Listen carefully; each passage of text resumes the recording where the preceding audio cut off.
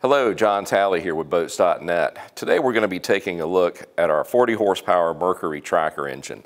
Now we know before we picked this thing up that the previous owner had said that it had an issue, probably low on compression on one of the cylinders. So let's get this cover off, take a peek with some diagnostic tools and see what's going on. So if you're ready, let's go.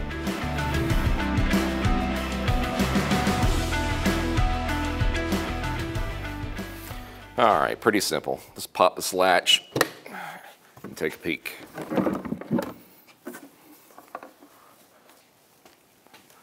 First indicator, let's pull the plugs and see what they look like. All right.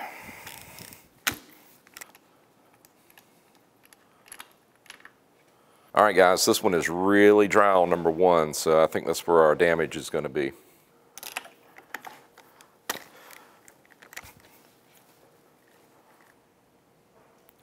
Number two looks okay, but not great. Kind of doubt we're going to be doing a compression test on it. Let's see if she'll even spin over. Well, that's never a good sign. She is definitely locked down. So I know we're going to go ahead and pull the power head and open it up, but let's take a look inside with our borescope so we can get an idea of what's going on, see if this is even remotely salvageable. So let's take a peek inside. Door number one. Oh yeah. that, my friends, looks like a needle bearing. So that is telling me that that piston's not going to be removed easily. A lot of scoring going on. See where it just bounced it right in the center.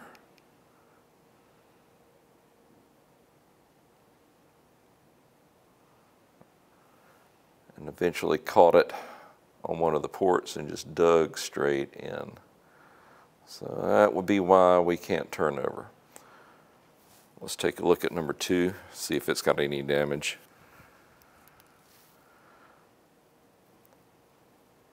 A little bit of scoring but it had not cut loose yet.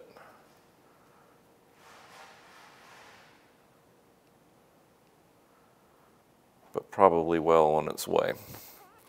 All right, guys, now we know what we're facing. So we need to determine, well, is the crankshaft usable? Are the connecting rods bent? A lot of things we don't know just by looking at the top end. So let's get it removed, break it down, and see what we really have to work with. All right, guys, let's get off that cowling and there's basically just one bolt that goes through and it's an eight millimeter on either side.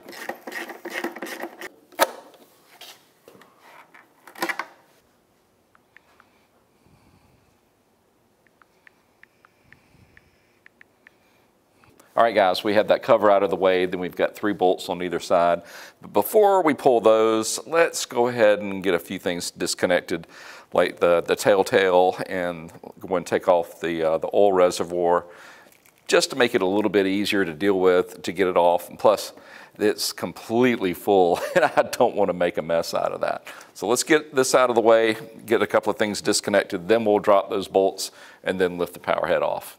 The way I'm gonna do the oil reservoir is just disconnect it from down at the pump.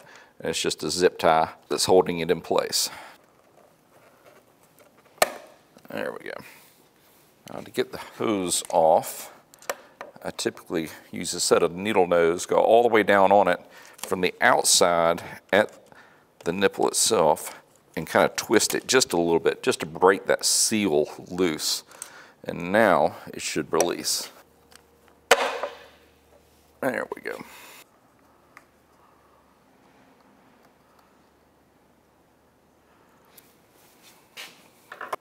Feed this up here just to make sure it stays above the level at the top.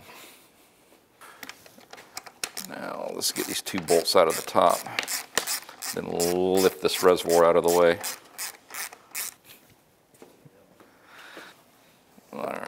Let's see. Need a third hand. yeah, I put a lot in on it, but there you go. That's Garrett. That's my extra arm. All right, let's go find a safe place to put this where it won't make a mess. Let's go and remove our telltale line. Once again, just a zip tie. But do be careful when you go to remove it because that fitting down there is plastic. And if you're too aggressive with it, it could snap it. After that, we'll remove this ground strap. Looks like just a, possibly a seven millimeter, maybe an eight. And then I believe we're gonna need to disconnect the trim switch on the side. At that point, we can take out those bolts, then lift her off. Once again, squeeze it, kind of break it loose.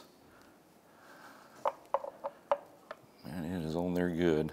What do you expect when rubber's 20 years old? So I believe this is a 2002 or 2002 or 2003 engine. All right, there we go.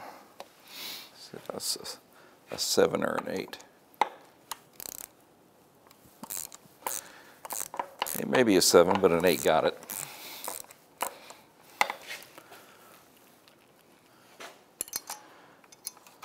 Whenever possible, I'll try to put a bolt back in its original place, just so it's easier to keep up with.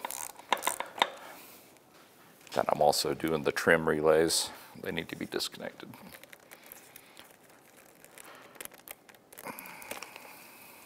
It's all color coded, but if you ever get nervous about, hey, I'm not, not sure I'm gonna be able to remember how things go, get out your camera, take a picture. That way you can reference back to it. Believe this is the ground that's going to the trim motor. Yep. All right, let's take out those main bolts.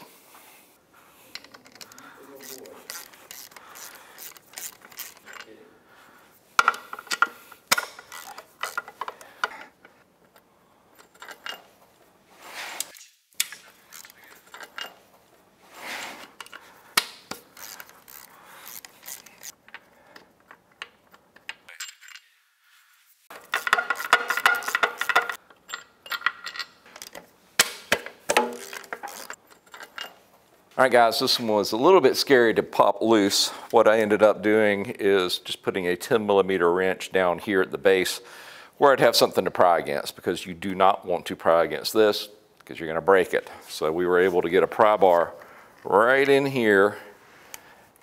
There we go, it popped. A little bit scary, but hey, she's, uh, she's gonna be ready to come off here in a second. All right, guys, we're getting ready to remove this according to the manual put in a lifting hook, and then lift it out. I'm gonna see if I can just He-Man lift it, and if not, then I'll go grab the cherry picker. So depending on how good your back is, you may or may not want to try this yourself. I'm gonna go get the cherry picker. I'm not doing this to myself.